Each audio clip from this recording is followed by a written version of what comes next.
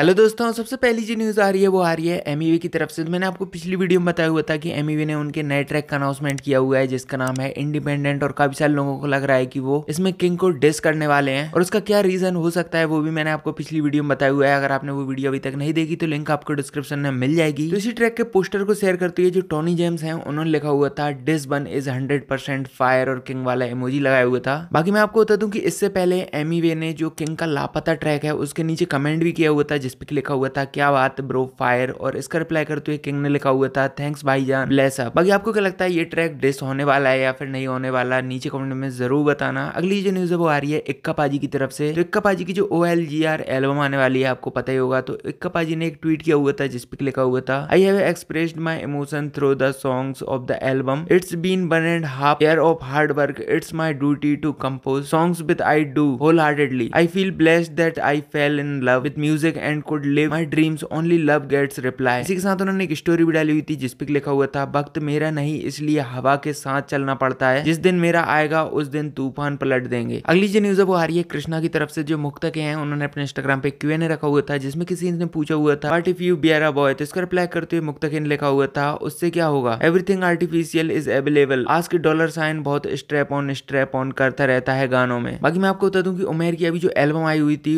उसके काफी सारे tracks Spotify five viral songs India में चल रहे हैं आप देख सकते हो कृष्णा के साथ वाला जो था रेफरेंस वो फोर्टी नाइन्थवे नंबर पे चल रहा है साथ ही और भी काफी सारे ट्रैक्स हैं बाकी कर्मा का नया ट्रैक रिलीज हुआ है जिसका नाम है तेरा हुआ है हिडजोन का भी नया ट्रैक रिलीज हुआ है जिसका नाम है गर्दन पे और यशराज का भी एक ट्रैक रिलीज हुआ है जिसका नाम है दाएं बाएं तो इन सभी की लिंक आपको डिस्क्रिप्शन में मिल जाएगी बाकी इस वीडियो में इतना ही अगर आपकी वीडियो पसंद आए तो वीडियो को लाइक कर देना अगर आप चैनल पर नए हो चैनल को सब्सक्राइब करके बेलाइकन प्रेस कर देना अगली वीडियो में फिर मिलते हैं तब तक के लिए बाय बाय